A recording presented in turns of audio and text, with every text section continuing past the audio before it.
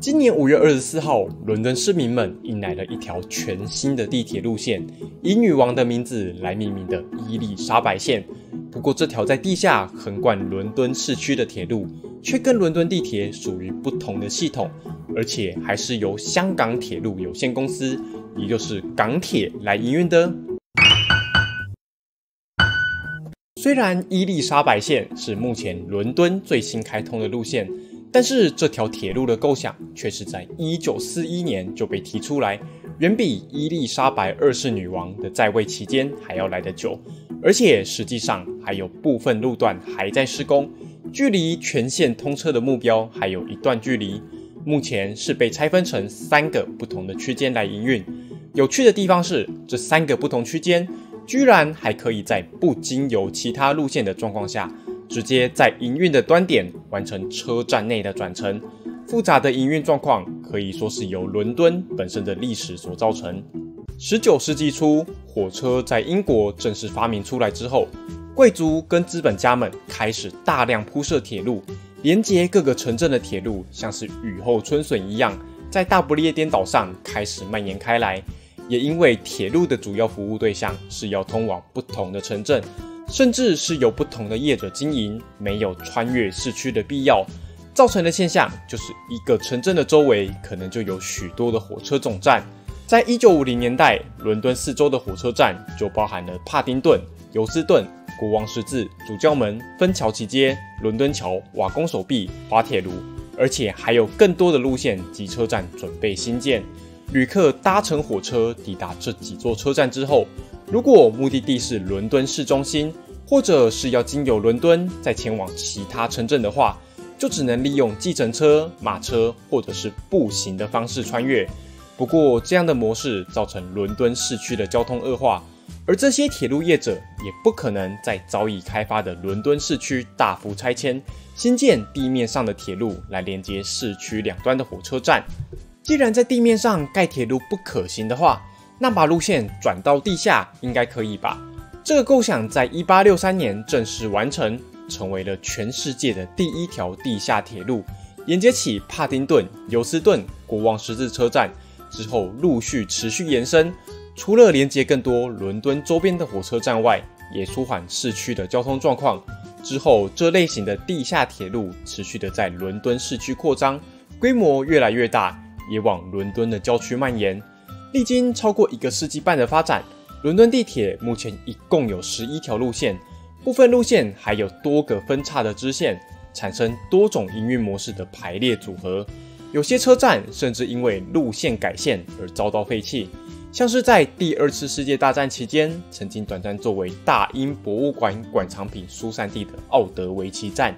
也正是因为第二次世界大战的爆发，伦敦遭受猛烈的轰炸。战争进行的同时，开始讨论一些关于战后重建的计划，包含新建公路及铁路，希望可以一并解决伦敦原有的交通用色问题。特别是因为原有的林外铁路几乎断在市区周围，造成旅客必须要转搭地铁的状况。如果能有贯穿市区的铁路，就能够有直通列车的营运，降低转乘站的负担，并且扩张列车的服务范围。但是战争结束之后，经济复苏不如预期，政府的裁员也不足够，使得这方面的计划几乎遭到搁置。到了一九七四年的伦敦铁路研究报告，一九八九年的伦敦中央铁路研究里面，还是持续提出新建贯穿伦敦市区铁路的建议。然而，只有南北方向的，在改建原有的路线跟车站，以及更改车辆跟沿线设备之后。以泰晤士连线的名称提供直通运转的服务。至于东西贯穿伦敦市区的部分，虽然赋予了 Cross Rail，也就是横贯铁路的响亮名字，但是因为市区部分几乎都是全新路线，新建的成本过高，还是遭到议会的否决。不过，随着伦敦市区的交通状况持续恶化，中央的交通部跟伦敦交通局还是决定以各半的持股，成立跨伦敦铁路连接公司。共同推动横贯铁路的计划及建设，最后在二零零八年上议院正式通过横贯铁路的新建计划。除了串联伦敦市区两端的帕丁顿车站跟利物浦街车站之外，路线还会经由既有的传统铁路延伸到伦敦的近郊。然而，横贯铁路的建设大概就跟它规划成型的过程一样的曲折，在一座具有千年历史的城市下方开挖铁路，势必会遇到一大堆先人活动的痕迹，甚至被誉为英国有史以来最大的考古现场之一。从中世纪黑死病的万人冢，到罗马时代的货币，甚至连长毛象都被挖掘出来，劳资纠纷、外包争议。工地意外等等问题也都在工程期间爆发出来，使得原定要在二零一八年通车的计划只能延后。结果又遇到武汉肺炎在全球肆虐，通车的日程持续往后推延，总经费也从一百四十八亿英镑暴涨到一百八十八亿英镑。然而，横贯铁路已经在二零一六年以女王伊丽莎白二世的名号正式命名为伊丽莎白线。最后，为了能够赶上女王登基七十周年的白金禧系列庆祝活动，宣布以分段通车的形式，在二零二二年五月二十四号开始营运，并且请来本尊伊丽莎白二世女王进行剪彩开幕。